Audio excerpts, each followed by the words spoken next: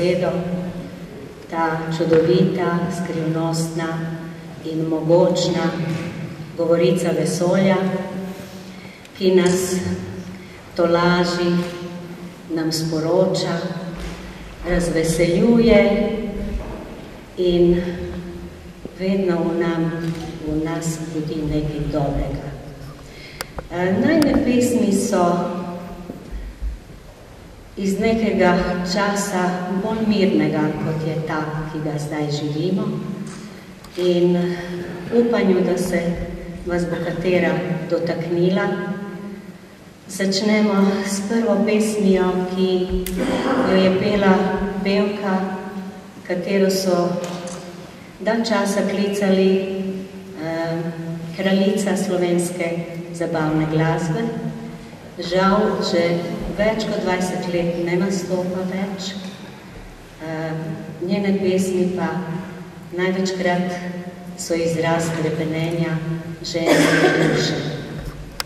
Tudi ta vam bo pripovedovala o tem. Lepo je, da ste z nami.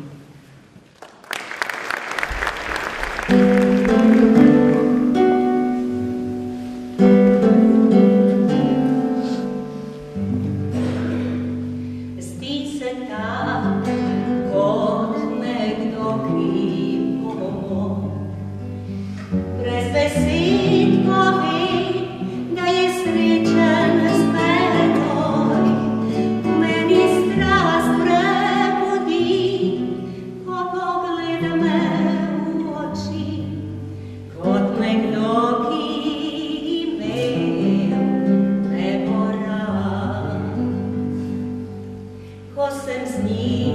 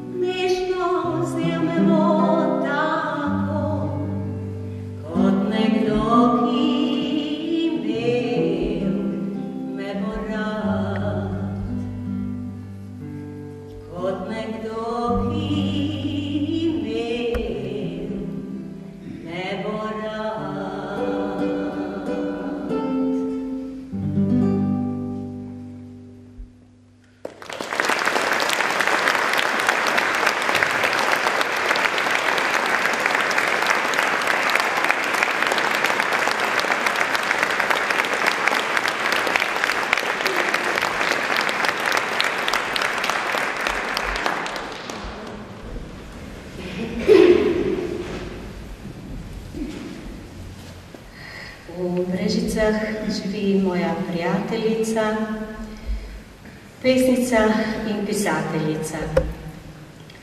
E, v knjigo njenih pesmi mi je zapisala Prijateljstvo ne potrebuje besed, je le prijateljstvo. E, jeseni mi je podarila eno svojo pesmico, in se me je tako dotaknila, da je kar v nekaj minutah nastala še melodija. Ivana, hvala, ne vem, kje si. Hvala. Ivana Vatovec.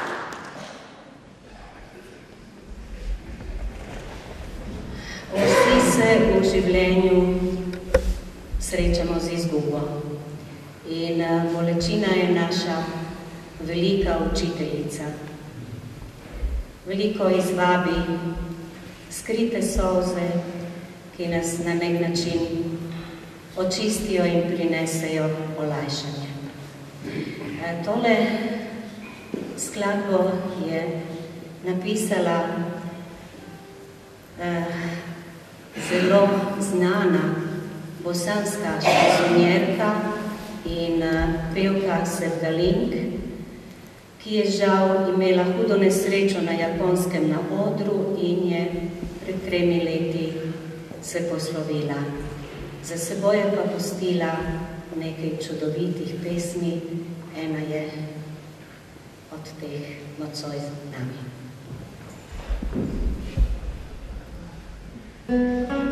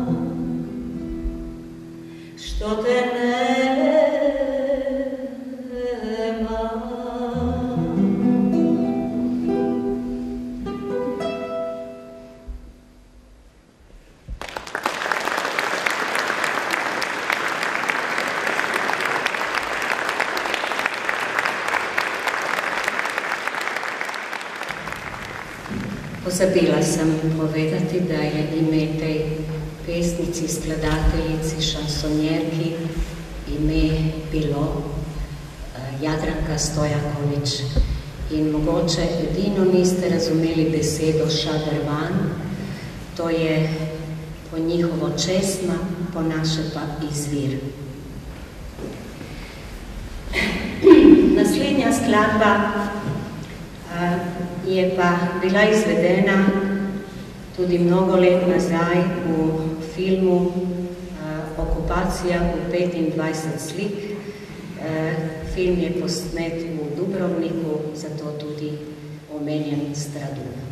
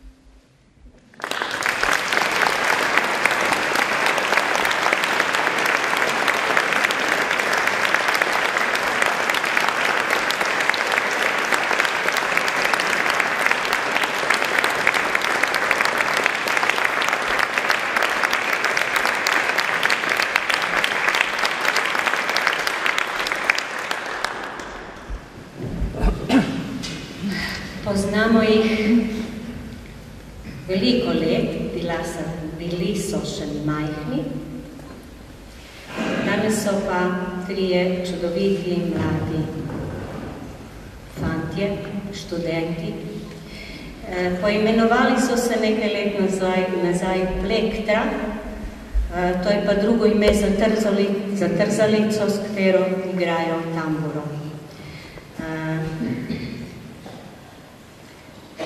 Nama je v čast, da z nama že starima hočeta sodelovati že četrt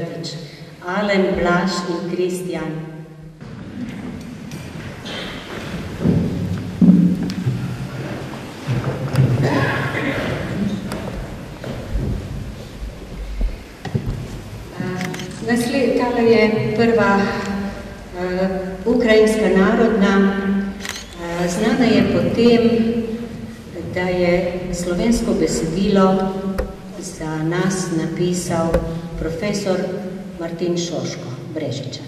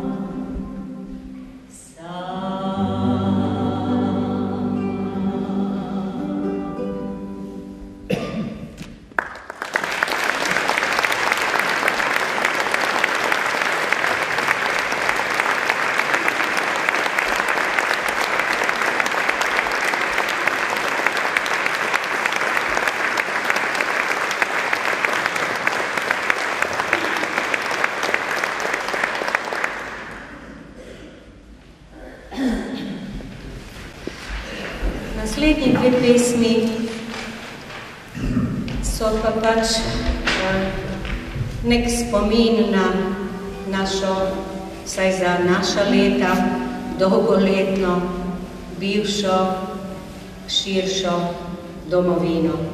In uh, tiste, katere so lepe, naj ne bi bile pozabljene. Uh, pesmi pa itak ne potrebujejo ne carine, ne priznajo žice in ograje. Hvala Bogu. Moram povedati, da uh, ta prva je še posebej pri srcu Alenovemu očetu.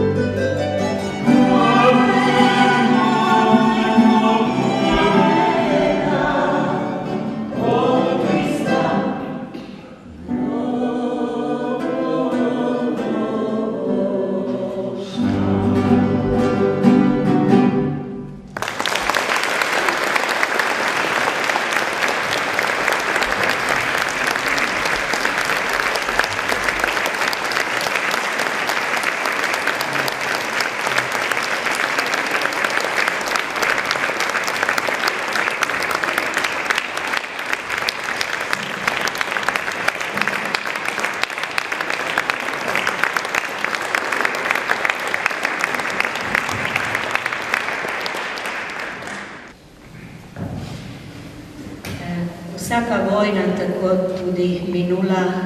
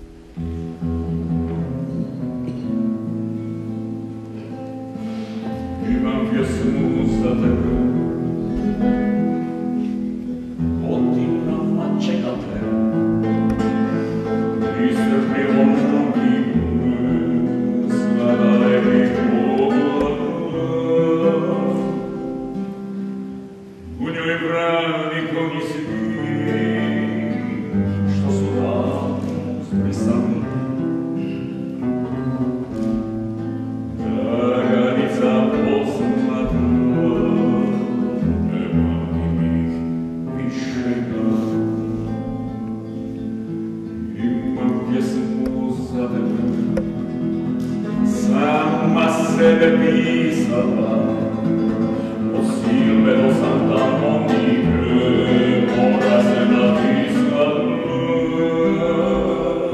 U njoj mirisla prikljetala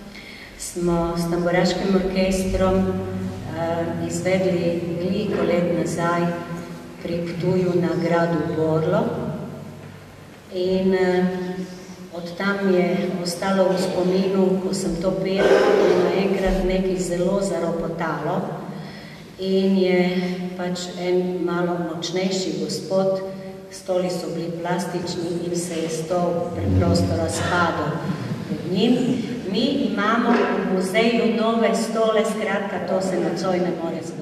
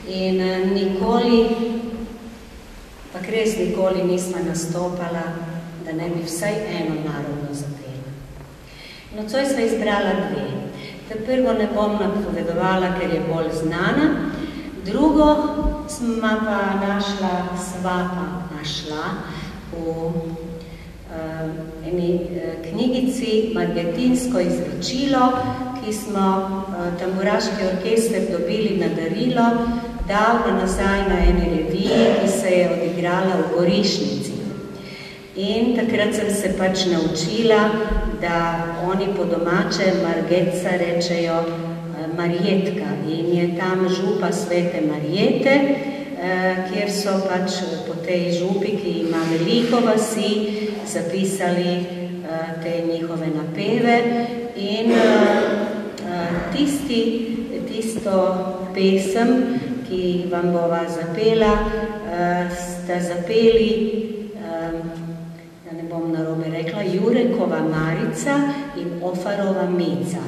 E, torej, e, to je e, občina današnje Gorišnice.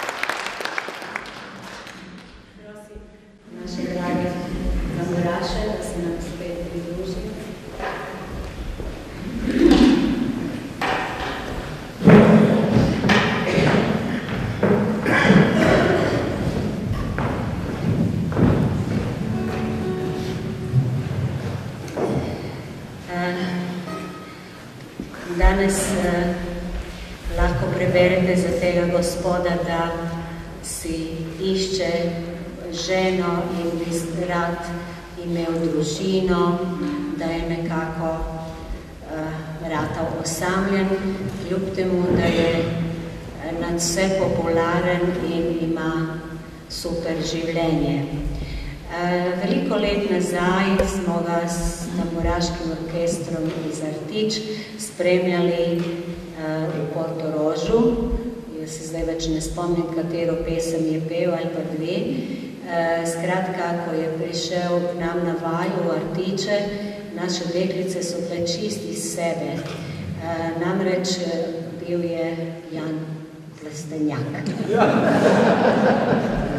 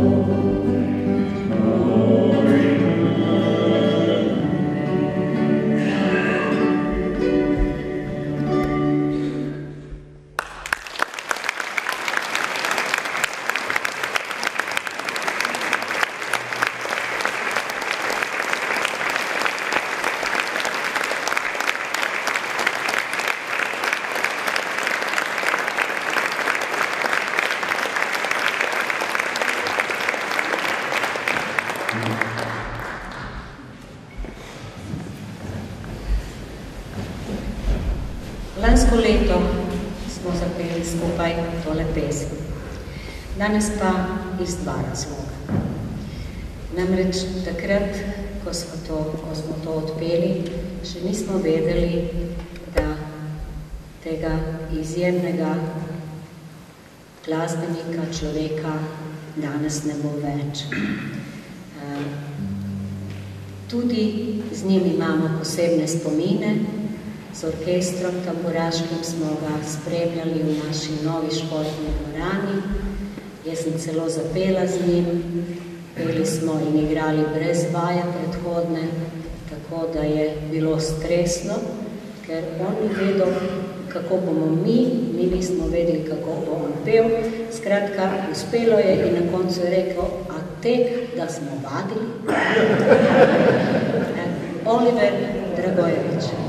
Drugi razlog pa še eden je, tisti naši prijatelji, ki so imeli pred kratkim zlato poroko, to je njima tudi eno voščilo.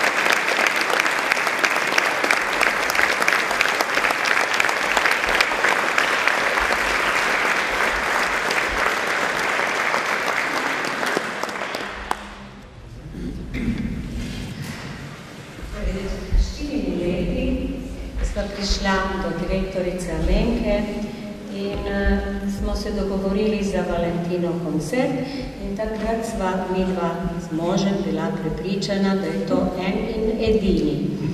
No, danes smo že četrtič tukaj in ker se mi dva veselo starava, bi rekla, da je mogoče to zadnji tak najn koncert. Uh, Zato bi vam rada izrekla res hvaležnost, da ste nas spremljali vedno v tako lepem številu. Upava, da se najna glasba je vse nekajkrat vas dotaknila, nama ste dali izredno veliko. Kaj bi še rekla? Alenko ne mora skrbeti. Mi imamo v Brežicah Ireno in Uroša, imamo Veroniko in Krištofa, imamo Majo in Robija, skratka, mogoče še kateri par na novo, tako da bo tradicija ostala, ne glede na to, v kakem bova midva staranju. Ne? E, bi pa se zahvalila vedno so z nami novinarji. Hvala vam, ker to, kar je zapisano, tudi ostane. Da pa ne rečem hvala Davori, Davoru Lipeju, ki pa vedno oveči to naše staranje. Tako da eh, vsem iskrena hvala, še posebej pa eh, Posavskemu muzeju Brežice in eh, direktorici Alenki Krošen-Černelič, da nam je dano res uh, uživati v tej prečudoviti viteški dvorani.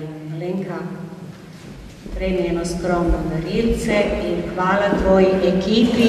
Izjemni so vsi od prvega do zadnjega. Hvala vam za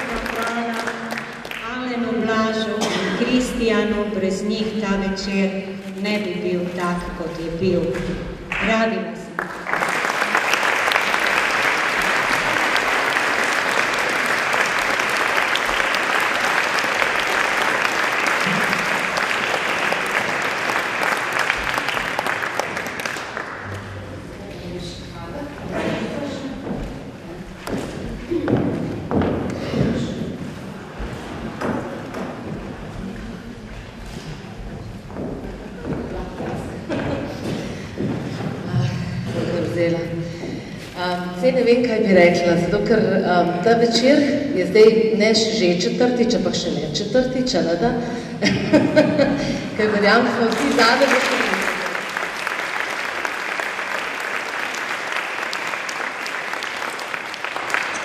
Vedno lepo je, kadar ena taka um, majhna ideja postane tako velika, da jo sprejmete, da ste v bistvu zvesti, obiskovalci, zvesti, sledilci, verjamem, da predvsem zaradi Beti in Draga, upam pa, da tudi malo zaradi te dvorane, zaradi te naše deliščine, ki jo sicer mi v muzeju upravljamo, ampak seveda pa je naša, je vaša, je vseh nas in prav je, da skupaj v njej tudi uživamo. Tako da resnično hvala.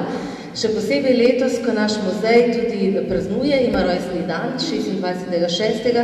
bo dopolni 70 let, odkar domuje v, v tem gradu in na različne načine praznujemo in hvala, res hvala obema, hvala tudi trem fantom, da ste del tega našega praznovanja, da bo ta naša 70-letnica zaradi vseh vas še toliko boljša in predvsem takšna, kot mora biti, z ljudmi, z vsemi tistimi, ki radi hodite k nam, ki ste naši podporniki, brez katerih seveda bi bilo naše delo nesmiselno in verjamem, da bi vsi tudi sedaj mogoče sedeli pred televizorjem, se jezili zaradi politike, tako ste pa tukaj in ste uživali in boste šli domov, dobre volje, z enim lepim, lepim občutki, predvsem zato, ker smo danes bili skupaj.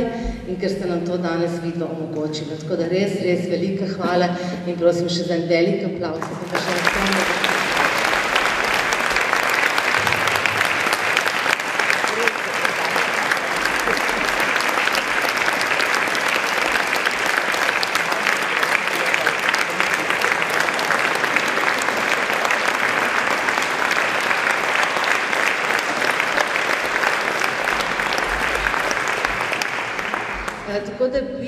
na zahvala za in šopkom za peti, pa tukaj nota še en koledar, letos, ker imamo obletnico, smo znali tudi koledar, je sicer že februar, ampak se eno ste še takaj upisati in kot spomin pa upam, da boste vsi upisali tudi ta večer.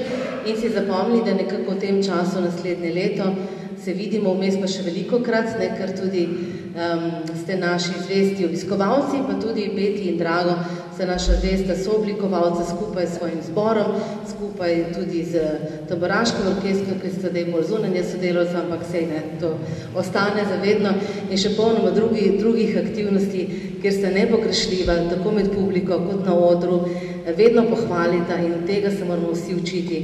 Jaz sem izjemno hvaležna, vesela in danes tudi napolnjena z novo energijo, res, ker um, jo dobim od vaju dveh, vedno pohvale, vedno si imamo lepo in res, um, kaj ne rečem, tako malo čustveno, res hvala, hvala, hvala.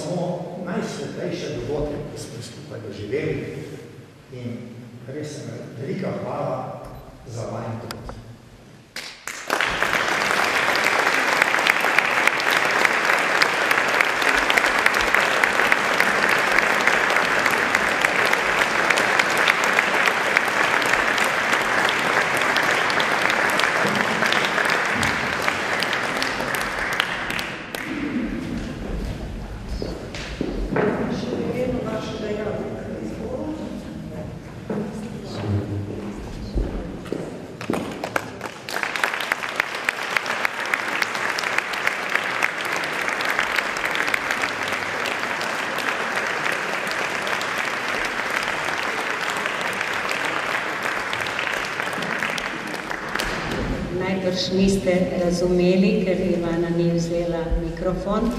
E, prinesla je šopek v imenu jagodnega izbora. To je pa moja skupina, kjer sem jaz tudi malo igral.